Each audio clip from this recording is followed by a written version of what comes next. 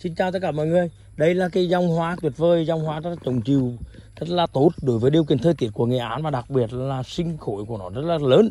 Cây hoa có cái cái cái cái, cái chùm hoa nở rất là rồng và thời gian nở rất là lâu từ 2 đến 3 tháng. Hoa này thì rất là nhiều màu, nó cái là dạng dòng mix, nó có các cái màu tím, màu trắng tím, màu đỏ, màu cam, màu hồng và nơi đây là tăng mình đang tập hợp ba cái cái cái màu cơ bản. Mọi người nhìn thấy cái lá cây như thế này, biết là nó rất là khỏe mình đang đưa cái dòng hoa này về để canh tác tại hòn mát Phạm Tây. Và cái, cái việc canh tác nó nó nó đòi hỏi là một trong những cái à, yếu tố rất là quan trọng để mà mà mà, mà làm đẹp cái cảnh quan.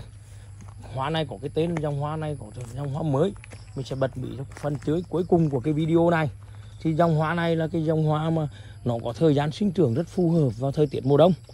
Và kể cả thời tiết có nắng đến tháng tháng tư tháng 5 hoa này vẫn nở đẹp và cái dòng hoa này thì có cái thân rất là khỏe nếu mà trồng vào đất thì nó có thể phát triển thành những cái bùi rất là lùm rất là lớn. Và năm nay đây là một dòng hoa chủ lực của mình để khi canh tác ở hòn mát Phạm Tây. Xin cảm ơn. Cái dòng hoa này uh, uh, có tên được bật mí luôn.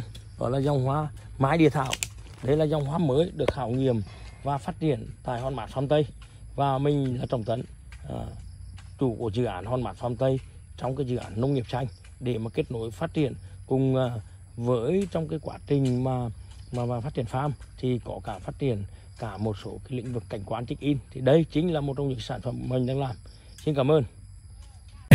Phân biệt được trắng và đen ta có đôi tai nghe lời thật giả hiểu được lời mắng lời khen ta có tấm lòng ung dung cao cả cảm nhận hỉ nộ ái ố trần đời có những niềm vui bình thường giản dị cũng có những nỗi đau khó nói thành lời nếu ta muốn được tự do như là mây gió lang thang trời muốn được ngay tình yêu này đi đây đó, để cho những cảm xúc luôn được kết lời. Ta bước qua nơi khu cằn sỏi đá ta cất tiếng đàn mặt đất nở hoa thế giới bao la, bao người vội vã những lần vấp ngã như đang nhắc nhở ta là ta được sinh ra từ nơi đất cát nắng đã hằng khắc lên da, không bao giờ đổi thay sang một chất khác chất khác, chất phát hằng khắc nên ta